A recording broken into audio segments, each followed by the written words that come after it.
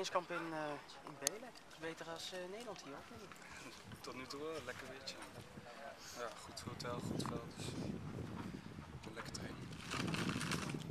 En uh, contractbesprekingen, als het goed is ligt het contract klaar tot 2014, verbeterd. Uh, is, uh, alleen al handtekenen ontbreekt, Ted van Leeuwen, technisch directeur van Vitesse? Ja, dat is een beetje wel, ja. Ik hoorde ook dat je zaaknemer al hier was, is?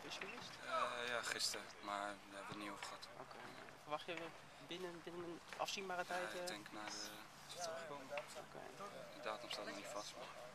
En wat is voor jou de reden zeg maar, om bij Vitesse te blijven? De, de belangrijkste reden? Langer? ik denk dat ik hier nog uh, kan ontwikkelen. En als, uh, ze zeg, als het gebeurt wat er allemaal gezegd wordt, dan is het alleen maar beter.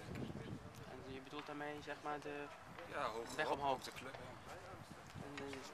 Wat denk je dan aan? Is het dan zeg maar wat, wat er gezegd wordt, strijden om het landskampioenschap of vind je Europees voetbal al mooi? Ja, we gaan gewoon als club omhoog en kijken wat het wordt. Kampioen zeg ik niet, maar Oké, okay, dankjewel voor je toelichting.